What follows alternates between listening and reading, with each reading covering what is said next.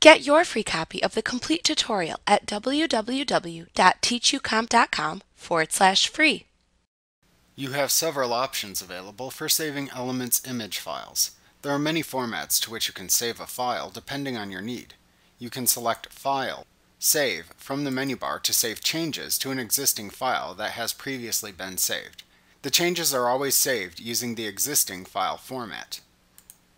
You can also choose File, Save As from the menu bar instead to save an image that has not previously been saved or to save a copy of an image with a different format with a new name or to a new location.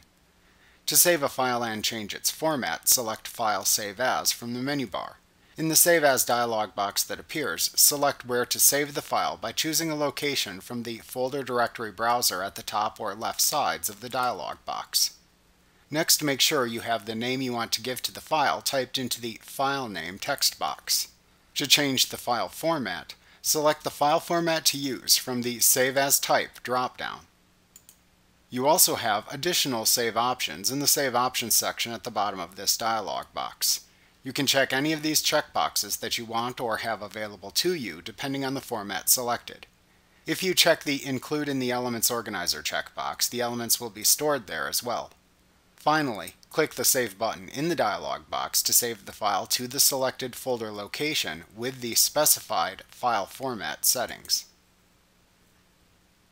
Like what you see? Pick up your free copy of the complete tutorial at www.teachucomp.com forward slash free.